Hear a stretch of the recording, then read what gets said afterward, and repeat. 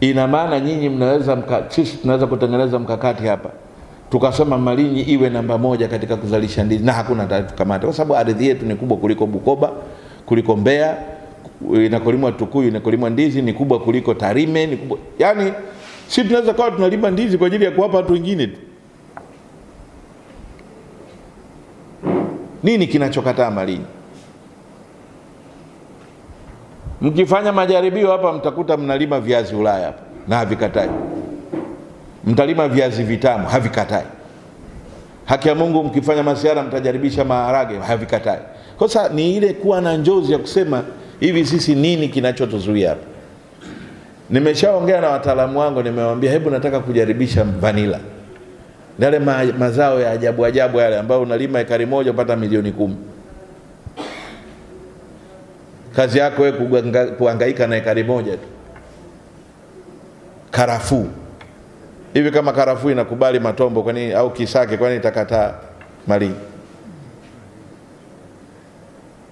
Haya, kuna kilimo cha hewa ukaa, mapato ya hewa ukaa.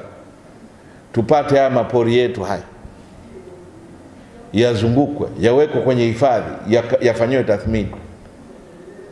Kuna halmashauri huko Katavi, sijui inaitwa Mlale, sijui nini, inapata bilioni mbili na nusu kwa mwaka kutokana na carbon credits bilioni mbili na nusu. Sasa mimi nimekuja kuulizana na nyinyi madiwani wenzangu, hivi tumefikia kweli? Tumeangalia uwezo wa Malinyi yote hii bilioni mbili nukta mbili nukta tano inatokana na nini? Asili yake iko wapi? Mapato yanatokana na zao gani? Ni wapi tujifinye pale na nini? That is the question we need to ask.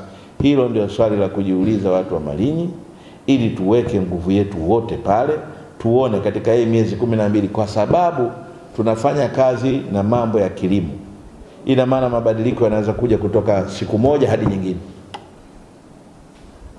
na hatuzungumzii kilimo cha mazao ya kukaa miaka mitatu ndio wanani. Wakati huo tumewaambia watu wa ASA, tunawaambia watu wa CRDB tunataka watupe mkopo watu wa ASA ili wazalishe miche zaidi ya milioni moja ya michikichi, ili kila kaya hapa tuijaze michikichi tu, miche mitano mitano kila kaya, miche mitano mitano. Nikikwambia mnunue, hamtununua watu wa Malinyi, kwa sababu kwanza, jana kuna mtu wa stakabadhi kaniambia watu wa Malinyi hawapendi hela lakini tukae tukatudhamirie, hasa madiwani, mlivae mseme kila kaya iwe na miche mitano, kila kaya. Tunachagua zone ambayo michikichi inasimama, sio kule kwenye uwanda wenye maji na kadhalika, hapana. Lakini sasa tutapanda miche milioni moja.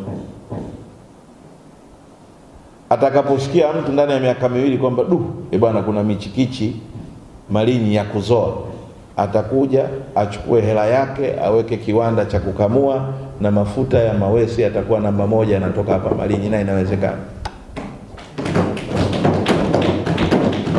Lakini sasa mambo hayo yanatokana sio na ku, unaota, you think big, you dream big.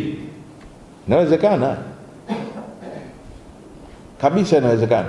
Na hapo sasa atakuja mtu mwingine kama wale waliokuja juzi wamesema mi nataka hekari elfu kumi elfu kumi na tano za kuwekeza nilime michikichi hekta, hekta elfu saba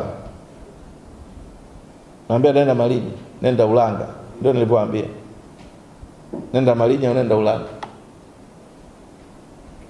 Yaani kuna mtu ana mashamba hapa, unatoka hapa mpaka unaenda labda unatoka hapa mpaka Lupili, wewe unapita kwenye mashamba ya nani michikichi, unapita hewani unaona michikichi tu kama carpet kama halmashauri hii tukikaa na tukajifunga na tukakubaliana tufanye kazi ya usimamizi, si tutatoboa bilioni nne ndani ya mwaka mmoja na nusu, miaka miwili. Mimi nakuhakikishia.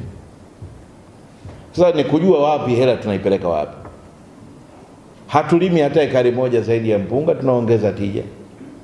Hapa katikati tunamwambia Mama Samia Suluhu Hassan yale maeneo korofi tutengenezee, hata pawe tunateleza kama ni udongo, ili mtu asisimame akasema uh, Malinyi. Unajua ukienda Malinyi ikinyesha mvua unakaa barabarani siku tatu.